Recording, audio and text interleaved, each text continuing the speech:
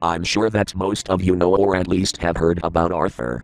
If you're living under a rock, then let me give an explanation to you. It's a Canadian American animated TV show on PBS about the lives of a young aardvark named Arthur Reed, his friends and family, and their daily interactions with each other. The show premiered in 1996 and is still making new episodes to this day, going on to be the second longest running cartoon in the US, behind The Simpsons, and has become one of the highest rated shows on PBS Kids. I first watched this show when I was a kid back around 1998 and quickly became a big fan of it. The animation was good, the plots were great, and the characters were pretty likable, except for some like DW.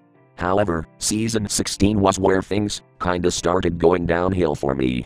The classic traditional animation was replaced with new flash animation, which felt pretty stiff compared to the more vibrant former. Some new characters were introduced, such as LaDonna Compson and her younger brother Bud, who both felt like pretty and original opposites of Arthur and DW to me, and some of the characters' relationships started falling apart. One of my least favorite episodes from this era of Arthur was so funny I forgot to laugh, because not only was Arthur out of character in this episode for bullying Sue Ellen, he didn't get as much harsh punishments. Anyways, enough with that introduction, let's get to the real subject of this story. I was on the way to home from my work as a janitor at the PBS headquarters one day when I noticed a USB drive on the ground. Curiously, I picked up the USB drive and went into my car to go home. When I got home, I plugged the USB drive into my computer and a single folder came up named Arthur Season 16.zip. There were a few MP4 files in that folder, consisting of full episodes of Arthur from Season 16. However, two of these files caught my eye. Those files were named Arthur Season 16 Episode 10A.mp4 and Arthur Season 16 Episode 10A 1.mp4, respectively. Curiously, I opened the first file and little did I know that it was a big mistake. As the file started playing, the intro to Arthur started playing, with that familiar catchy tune of Believe in Yourself. The intro was normal, no distorted music, no creepy changes, none of that. Then the episode started and it was so funny I forgot to laugh, one of my least favorite episodes, like I said before. However, my curiosity let me watch the episode and it was perfectly normal until it got to the end. After the part where Arthur became displeased at Sue Ellen declining his apology to her, it showed a scene of the Reed family's TV displaying the title screen of a parody of the original 1991 Sonic the Hedgehog game named Manic the Hedgehog. It then showed Arthur playing the game on a console that looked like the Mega Drive slash Genesis. It then showed Sue Ellen knocking on the front door of Arthur's house. Jane then opened the door, asking what Sue Ellen was here for. Sue Ellen then answered saying that it was none of her business and went inside the house to where Arthur was playing Manic the Hedgehog. Sue Ellen then asked Arthur to apologize to her, but Arthur said, Not right now. Sue Ellen then growled in frustration as Arthur said, I've gotta pee now, so see you. Arthur then stopped playing and went upstairs to pee. Sue Ellen then looked around the room for something to kill Arthur with when she spotted the Mega Drive like console under the TV. Sue Ellen then said, Aha! and pulled out the console, as she said. If he bullied me, then I'm gonna bully him back. Arthur then went downstairs to the den where the console was and said, Hey Sue Ellen, I'm. Arthur then paused as she saw Sue Ellen slowly walk up to him with the console he was playing on.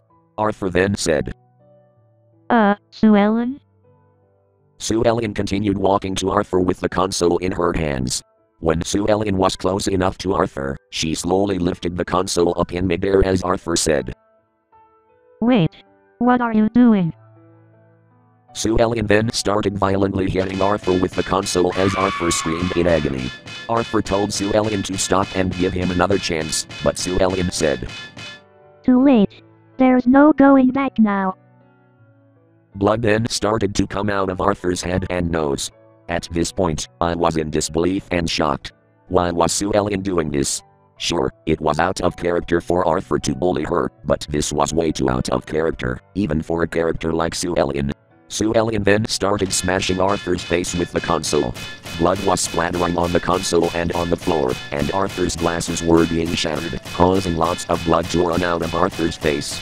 Brain matter and guts were also flying out of Arthur's face. At this point, I was starting to feel nauseous. Sue Ellen then proceeded to rip open Arthur's torso with the console, with blood and guts coming out. Sue Ellen then finally decapitated Arthur with the console. Sue Ellen then walked out of the den. I was then given a shot of Arthur's dead body, mutilated, with tons of blood running down, brain matter and guts scattered on the floor, glasses shattered, torso ripped open and head cut off. The shot was so horrifically nauseating that I almost puked. It then showed David in the kitchen putting some macaroni and cheese on a plate. He then exited the kitchen and walked into the den as he said. Arthur, dinner's It immediately cut to an outside shot of Arthur's house at night with David screaming in the background. It then showed two police officers handcuffing Sue Ellen as one of the police officers said. Sue Ellen, you're under arrest for one count of murder. Sue Ellen then said. But I'm not the bad guy, Arthur's the. One of the police officers then interrupted Sue Ellen by saying, Do not give me that excuse. as the two police officers carried Sue Ellen out of the house. It then showed David standing with Jane and DW as the former said. That sick freak gets what she deserves. DW then ran away from David and Jane as she cried over Arthur's dead body. I'm sorry, Arthur. I'm so sorry. I shouldn't have been so annoying to you. I regret it. DW said as she cried heavily over Arthur's dead body. Jane then went up to DW and said, Cheer up now, DW. I know it's hard to use someone like Arthur, but please try to get over it. DW then said, Okay. as Jane, David, and DW left the den, leaving just a shot of Arthur's dead body on the screen, fading away after a short while. The episode then ended there. I just looked at the screen, now completely devoid of what I watched. How can someone mess up such an innocent kids show like this? I took the USB drive out of my computer and put it in one of my bedroom drawers. I didn't want to destroy it though. I still own the USB drive, although I refuse to watch the contents that are on it again. I'm also not gonna take any screenshots or footage of this alternate ending, since I don't want to get into any legal trouble with PBS and the other companies that own Arthur. If you know anything about this alternate ending, please let me know, since I would like to have closure on this.